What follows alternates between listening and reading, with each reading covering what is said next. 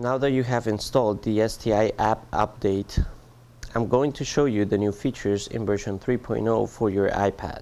In this segment, we're going to go over the main differences between the iPhone app and the iPad app for the STI. One of the major differences is the navigation in a model screen. In order to go back to your previous models, hit Models on the top left corner.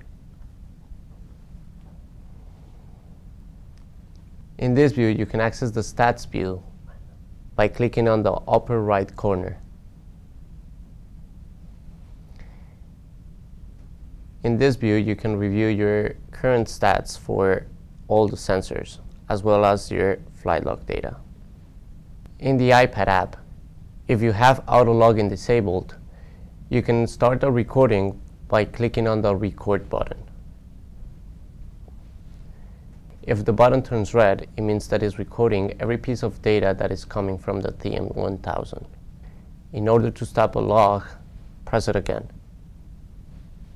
If you want to hide this view, just click on the button that says Stats. If you want to review your recorded files, click on the folder icon located on the upper right corner. If you want to delete a file, just swipe to the left in the name of the file and then click delete. In order to access the information for that file, just click on the name.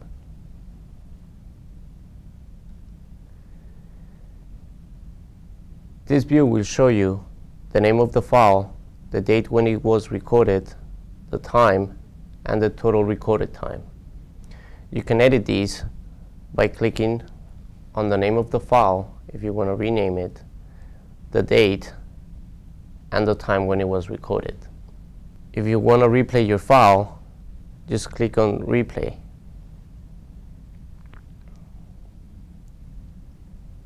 On the replay view, in order to access the stats page, click on the upper right corner. This view contains all the information provided by the sensors. You can see the current values, the maximum values, and the minimum values. You can reset these by clicking on the reset button located next to the now button. Also, you can change the current time by touching the slider.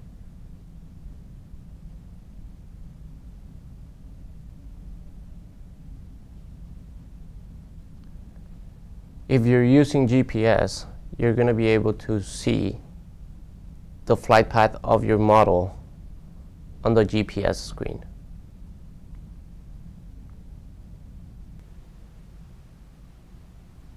If you want to see the graph for a particular sensor, click on the name of the sensor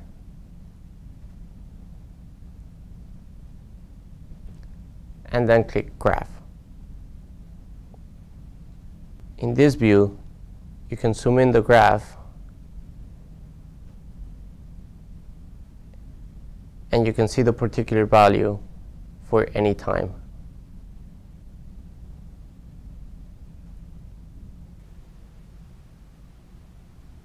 In order to delete a model, press and hold the image for any button and then click on the X on the top left corner. Click anywhere on the screen in order to exit that mode.